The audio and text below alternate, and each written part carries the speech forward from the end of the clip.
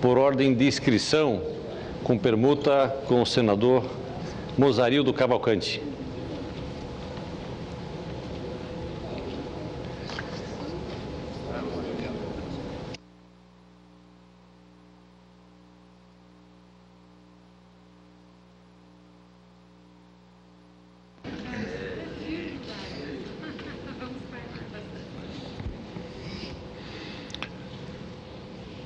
Senhor presidente,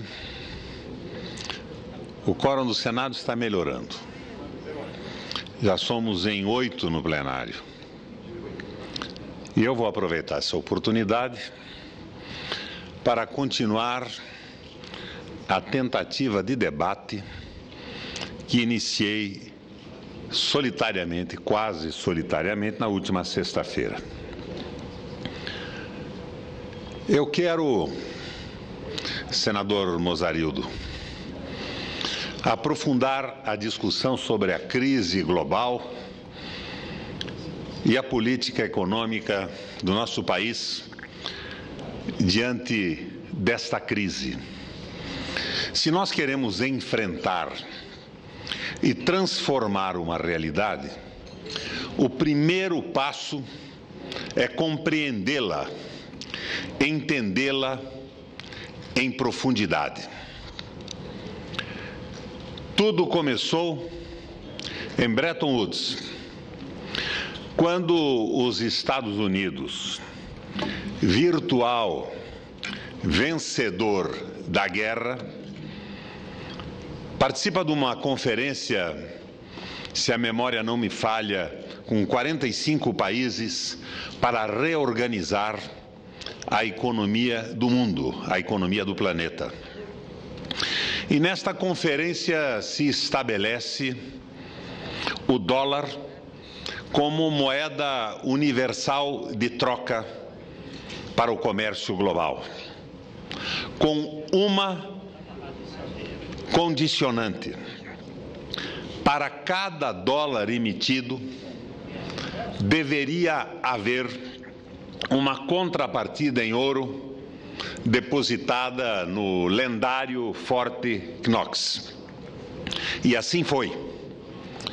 Assim foi, senador Eunício, até o momento em que Nixon, tendo dificuldades de caixa diante dos gastos enormes da guerra do Vietnã, rompe este acordo medieval e passa a pintar papel de verde com uma liberalidade incrível. Hoje, os Estados Unidos da América têm dólar, papel verde pintado no mundo, em quantidade equivalente a 100, 200 vezes o seu produto interno bruto, a sua capacidade produtiva. E esse dinheiro saiu por aí a comprar empresas, submeter países, e a economia americana se debruça por uma vertente financeira, uma verdadeira distorção do liberalismo econômico de Adam Smith. E o capital financeiro passa a ser mais valorizado que o capital produtivo. Como diria o nosso ex-ministro Mangabeira Unger, passa-se a valorizar o capital vadio. O capital que não produz o botão de uma camisa, a peça de uma máquina, um bem econômico, mas que circula pelas bolsas com a fantástica velocidade da internet no cassino global, quebrando de um momento para outro países e desempregando milhões de pessoas. A valorização do capital financeiro é tamanha que os Estados Unidos passa a congelar o salário dos seus trabalhadores e inventa os prêmios, os bônus para os executivos das empresas que maior sucesso pudessem ter nas bolsas. Capital financeiro, sem produzir nada, a ganância transformada em mola do desenvolvimento do capitalismo financeiro e os salários congelados.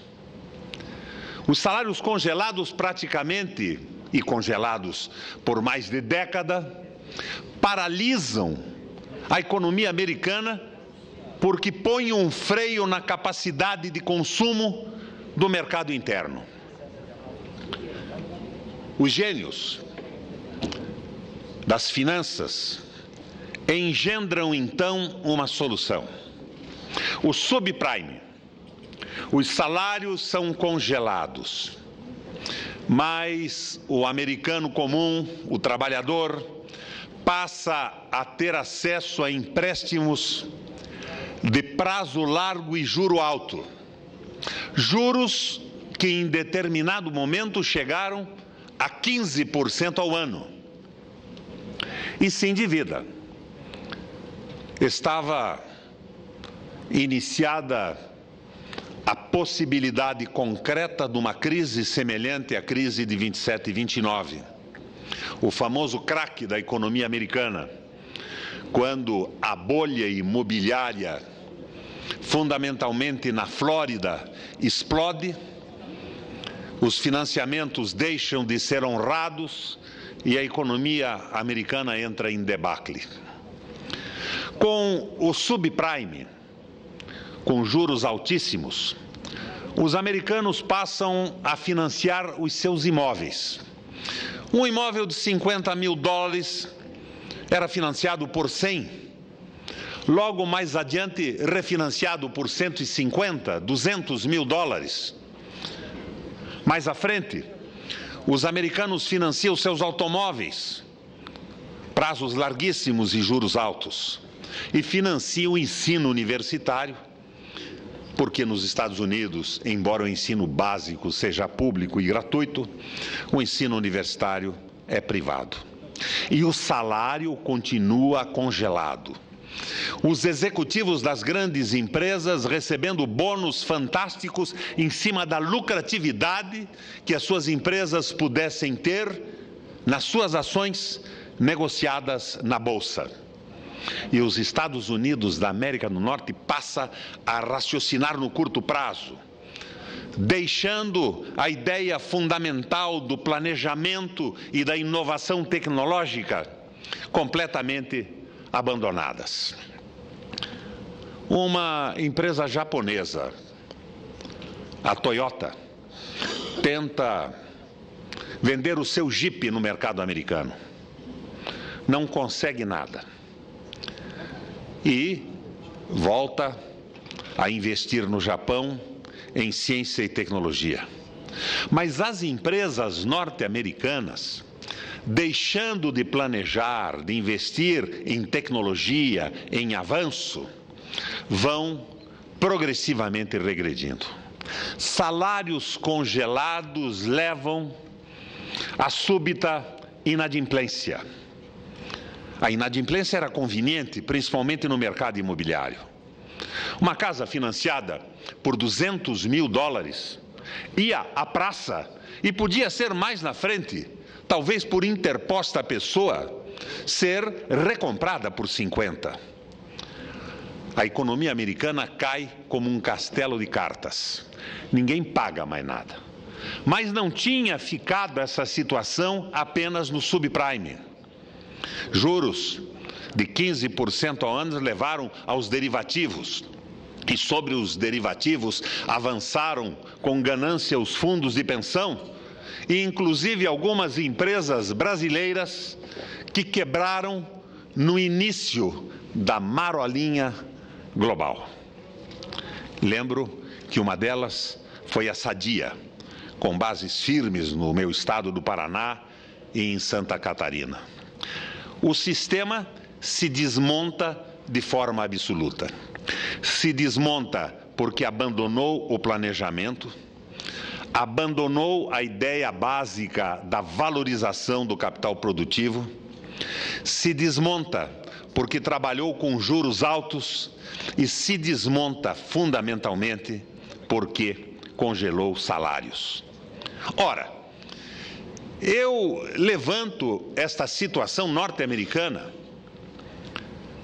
pensando lá para trás, na época da independência, quando o liberalismo econômico era proposto aos Estados Unidos pela Inglaterra, ou melhor falando, pela Companhia das Índias, a companhia inglesa que dominava o mercado do mundo. Se pretendia para os Estados Unidos da América do Norte a produção de commodities, de bens naturais e o fornecimento de uma mão de obra barata, enquanto todos os produtos industrializados seriam oferecidos pela Inglaterra. George Washington nomeia secretário do Tesouro ou ministro da Economia, não me recordo exatamente qual era a designação do cargo à época, Alexander Hamilton que rapidamente envia ao Congresso americano o Tratado das Manufaturas, aonde se contrapõe as ideias de Adam Smith na riqueza das nações, trabalhadas no interesse da Inglaterra, e propõe investimentos pesados em ciência, tecnologia, salários e financiamento para o crescimento da indústria norte-americana. Na esteira de Alexander Hamilton vem Friedrich List, Henry Carey e Henry Clay. E a nova economia americana, suportada na ideia de nação, se estabelece. A ideia de nação se contrapõe de uma forma definitiva à ideia da globalização, à ideia do mercado a nação se contrapõe frontalmente ao mercado. O mercado vive apenas com o pressuposto da ganância como motor da economia e do desenvolvimento. A nação não. A nação tem passado. A nação é forjada ao longo da história com o suor e o sangue de gerações populares. A nação é cimentada pelo amor e pela solidariedade. E tem um compromisso com as pessoas, com a sociedade e com a aventura de vida de cada um dos nacionais. O mercado não. O mercado pensa apenas no lucro fácil e rápido. E quando esta ideia de valorização do mercado se concentra como se concentrou nos Estados Unidos da América, exclusivamente no crescimento econômico suportado no crescimento do capital financeiro, no domínio do capital financeiro, o resultado foi o que tinha que ser. O sistema desaba como um castelo de cartas. Não se pagam os imóveis, os automóveis, o ensino e a inadimplência de um povo com o salário congelado leva à quebra do mercado financeiro global. E o prejuízo só não foi maior, só não foi absolutamente fantástico, porque o papel pintado é o lastro de quase todos os países do mundo hoje. O Brasil fala em 200, 300 milhões de reserva. A China fala em bilhões de reserva em dólar. Isso, de certa forma, segura a economia norte-americana.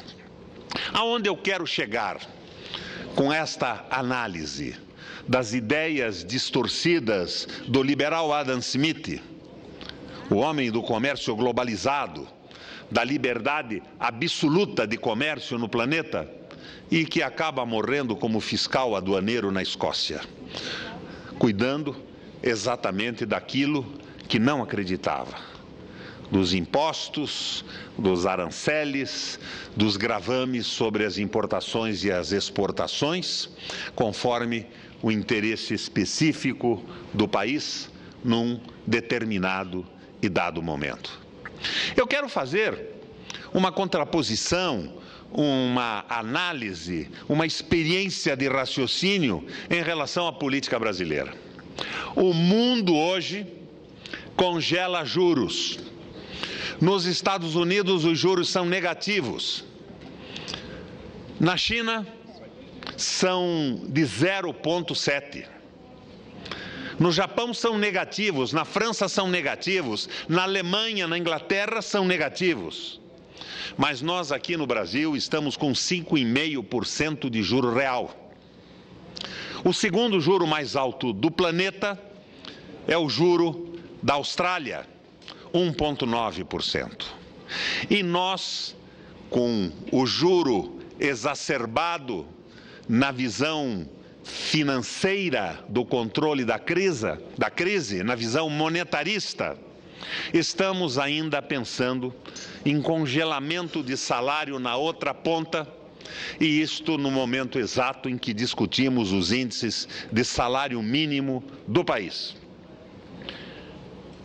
Quero me referir a uma experiência paranaense.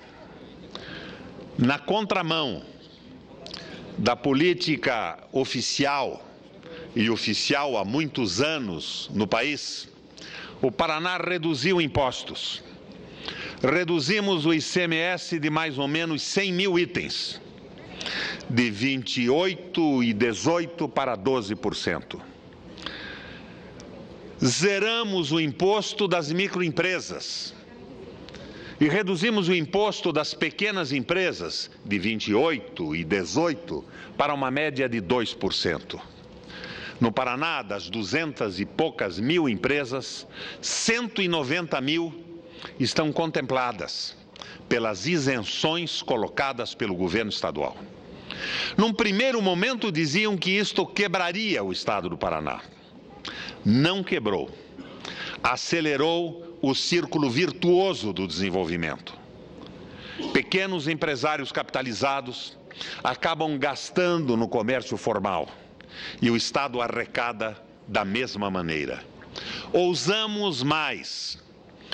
No ano passado, o salário mínimo regional do Estado do Paraná era de 765 reais e será corrigido evidentemente para mais, nesse ano de 2011.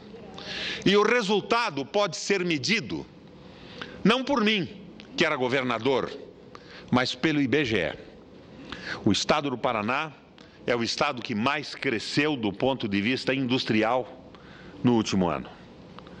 Nós, dentro das limitações de um governo estadual, de uma unidade federada, fizemos a nossa reforma tributária. Mas eu vejo agora que continuamos na contramão. Continuamos presos aos interesses dos rentistas, com juros altíssimos e compressão de salários. 545 reais por quê? Para deixar de irrigar os 5 bilhões de reais que o Banco Central retirou da economia com aumento de meio por cento na taxa Selic. Taxa Selic.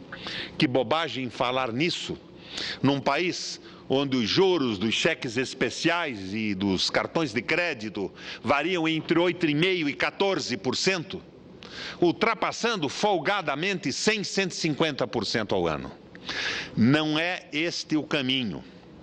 O caminho do Brasil é a criação do mercado interno a elevação dos salários, a redução dos impostos, o controle da depreciação do dólar e a defesa do interesse nacional de forma extraordinariamente clara, com a utilização de todos os meios tributários possíveis.